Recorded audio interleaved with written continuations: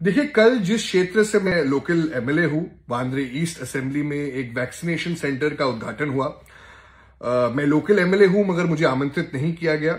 शिवसेना के वरिष्ठ मंत्री अनिल परब जी गए थे। आ, एक्स मेयर विश्वनाथ महाडेश्वर जी जिसके सामने मैं चुनाव लड़ा वो थे।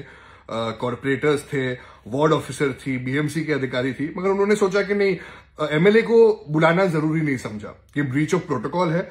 और अनिल परब जी ये करते आए हैं।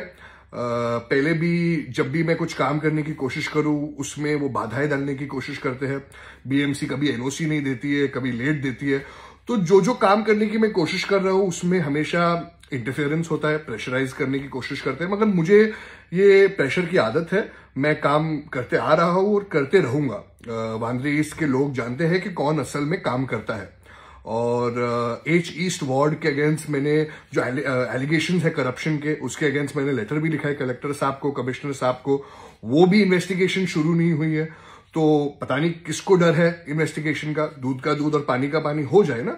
और अनिल परब जी को ये समझना है ये इतने वरिष्ठ मंत्री है मैं तो एक अट्ठाईस साल का युवा हूँ काम करने आया हूँ कि लोगों का जो मैंडेट है पब्लिक का मैंडेट वो है जो मेरे साथ है। और uh, मुझे काम करने दीजिए और मैं काम तो ज़रूर करूँगा।